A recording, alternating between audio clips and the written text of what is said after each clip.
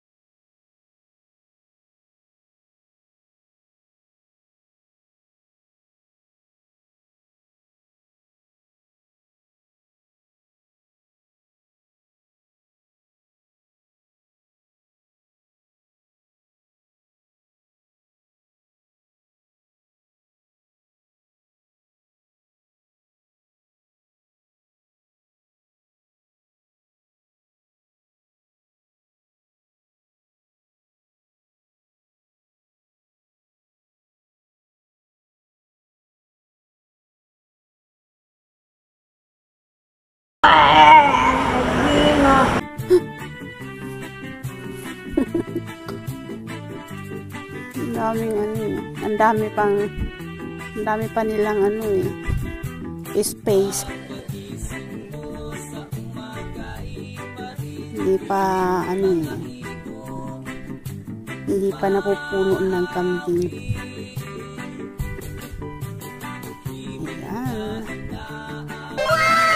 Yung mga nakatali na yan, lalaki yan. Ayan. Lalaki yan. Kasi sigang panghabol niya eh. Rapist. What? ano siya? Kaya, kaya tinalian siya. Tinalian sila. Meron pa yan dyan. Ayun, lalaki din yun.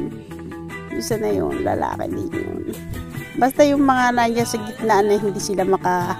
Ay, ayan, lalaki din yan. Lalaki rin yan. Nakatali sila kasi may mga kaso pa silang rape. Yeah.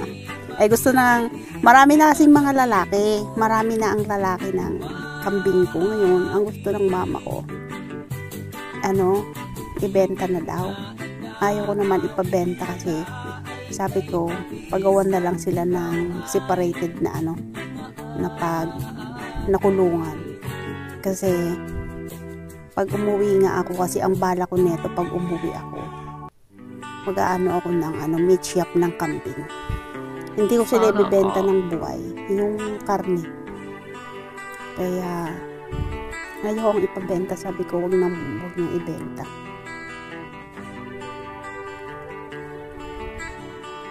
Yan yung mga yung mga ano yan yung mga nyug na yan na matatangkad. Nasa Taiwan pa ako niya nung tinanim yan eh. Yan, pa isa-isa na lang sila kasi na ano ng bagyo. Tapos, ano na yan eh, puputulin na rin yan eh. Pag once na gagamitin, pwedeng gamitin pag nag ano. Hindi, hindi pa, pag nagpaayos ako ng ano, ng, ng bahay nila, pag nakauwi ako, ipapaayos ko yun. Ayun, gagamitin na yan, yung mga wish-wish na yan na ano, na, na, na, na ano, na, na nyug kasi matanda na sila eh, konti na yung bunga niya at saka ano na matigas na yung ano niya, yung puno niya pwede nang gamitin sa pang ano ng bahay ng kambing. Kaya ano na siya. Kaya hindi pa pina, hindi pa yung pinuputol kasi para lalo pa siyang tumigas. Hindi pa naman ako nakaka-uwi eh. Hindi ko pa nga alam kung kailan ako makaka-uwi kasi wala nga akong vaccine. Hiya, mangarap ka mamadap. Ayan guys, andyan yung mga alaga ko. Andyan yung mga baby kambing ko. Ayan. Saan-saan sila tingnan mo? Yung mga nakaupo sila dyan. Ay mga naka, yan sila nagpapahinga rin sila. Kanya-kanya rin sila. Tapos, minsan pag hindi daw ulan, sinusundo sila ng nanay ko. O kaya ng tatay ko kasi pag hindi ulan pag mainit ang panahon hindi sila umuwi sa bahay nila. Hinahanap sila ng nanay ko. Sinusundo sila. Nauuwi sila sa bahay nila kasi baka nga damputin sila dyan sa ano malayo sa bahay. Kasi marami din mga nagdad dumadaan dyan sa ano namin eh. dyan sa ano na yan?